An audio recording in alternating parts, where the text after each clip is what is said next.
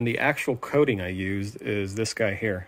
That might be a better angle. So all the water's just beading. You can see the water sheeting off real slowly on the left. It beads and comes off real fast. So let's do this again, maybe at a different angle. So after we buffed this side of the boat, uh, maybe a few months ago, I think about three months ago, uh, I didn't get down to uh, the water line. I just did the, the top section where you see that top uh, green darker section of gel coat. I was just experimenting with some graphene coating and from the front of the bow all the way till right around here, I put uh, a coating, one just one uh, coat of a graphene coating. I'll show you here in a minute.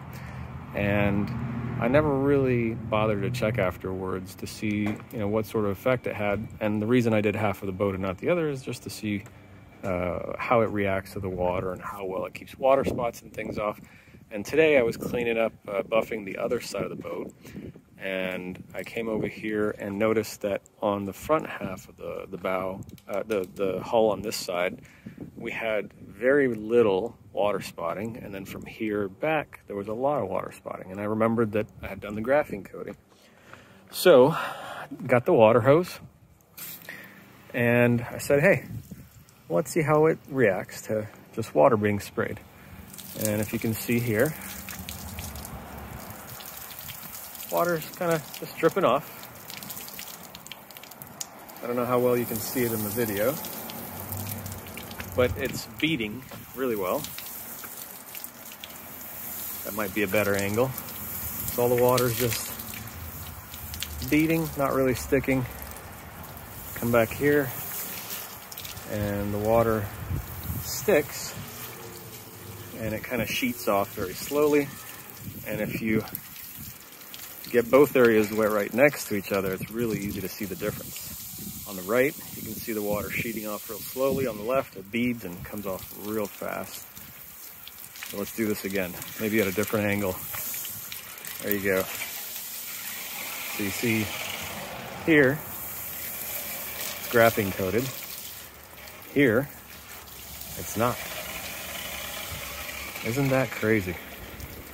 So I'll put the uh, link to the graphene coating I use down in the description if you want to grab a bottle and try it on your boat.